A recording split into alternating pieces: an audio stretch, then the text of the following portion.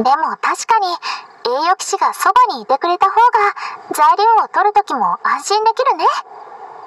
そうだ。一応お休みを半日取ったけど外に出るときは必ずシスタービクトリアに行き先を伝えなきゃいけないの。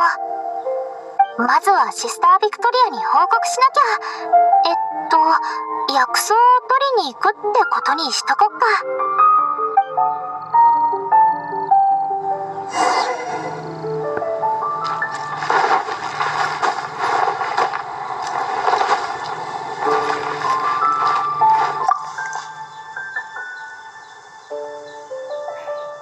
バーバラ何か用事があるの？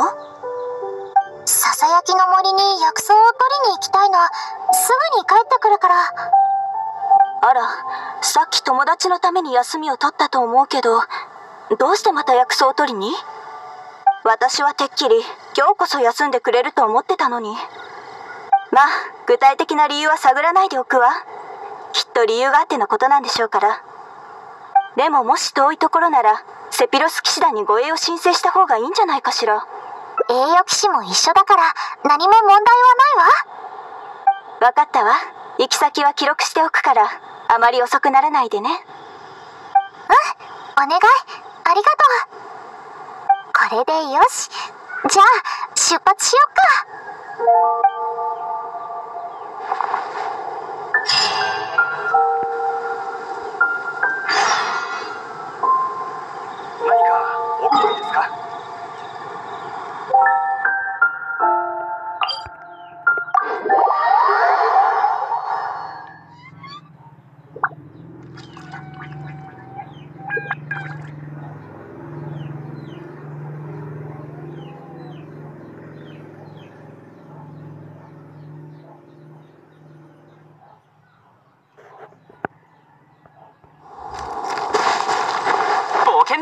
よし出発だ。よし出発だ。冒険だ冒険。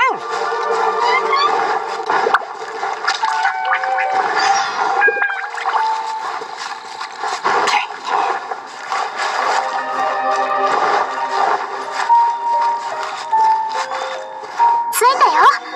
この辺りに良質なスイートフラワーが生えてるんだ。私もよくここに来てスイートフラワーを取るんだけどこんなに魔物がいるなんて珍しいな。とりあえず魔物を片付けてからスイートフラワーを探そう。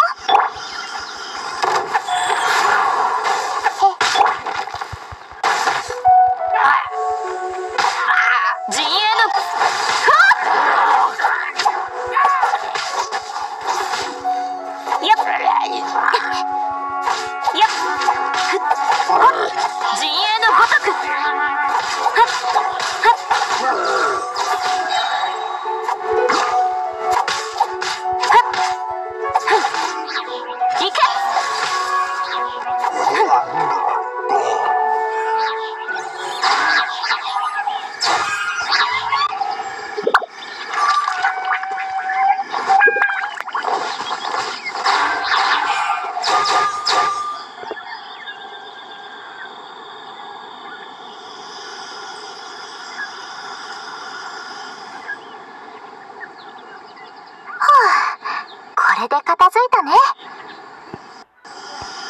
数が多かったから手こずったね。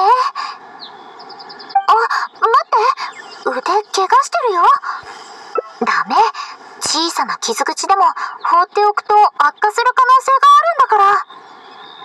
ちょっと待ってて。すぐに直して。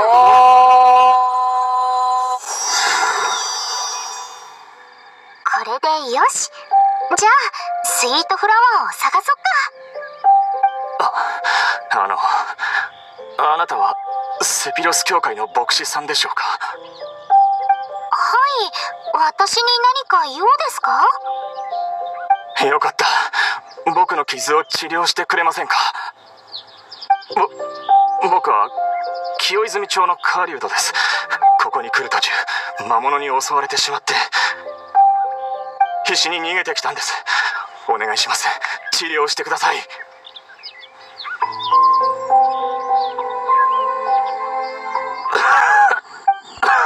ほらこの体の傷。同情心。まあ牧師さん。わかりええ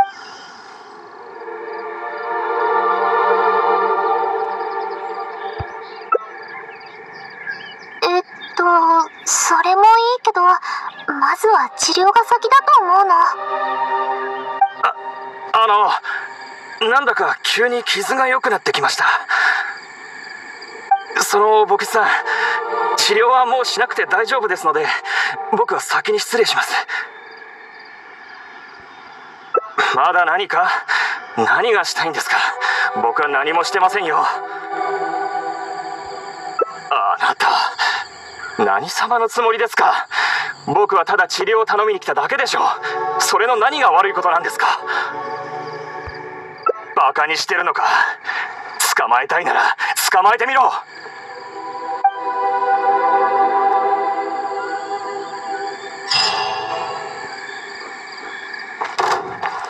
瞬く間に。や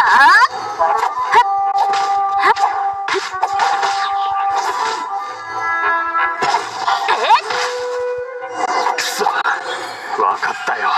行けばいいんだろ。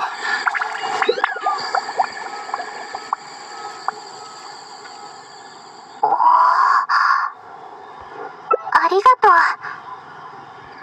さっきの人傷口を見たけど本当に治療が必要だった。たとえ砲刀弾であってもでもあなたの言うことにも一理ある。もし彼が何か企んでたらそれこそ危険な状況を招いてしまってたかもしれないから。とりあえずモンド城に帰ろ。うもし彼に仲間がいたらここは危険だから。今日はもうパイシードリンクをご馳走できそうにないね。次の機会があったら今度こそ作ってあげるから。じゃあ先にモンド城に帰ってるね。